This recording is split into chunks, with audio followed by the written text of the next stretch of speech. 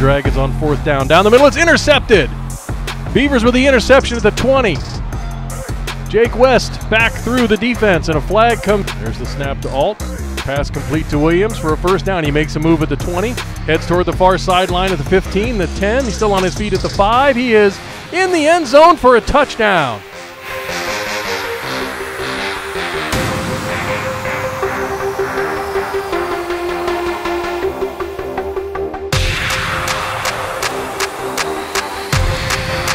Snap, the pass, down the middle. It is caught for a touchdown.